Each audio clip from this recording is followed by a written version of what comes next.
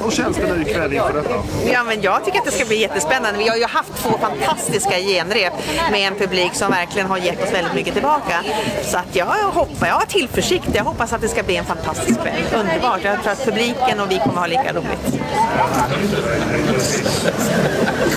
Man förstår ju att det här bruket har haft en stor betydelse för vi som lever i Klippan nu men också för generationer tillbaka. Jag började grunna på alltså, vilka var de som jobbade här? Hur hade de det? Och, och så kom jag på att alltså, jag har ju aldrig varit här innanför de där grindarna för det är ju inhägnat område. Och det, blir så, det är jättevackra lokaler. Och jag bara tänkte, shit vad kul att få komma in där och titta.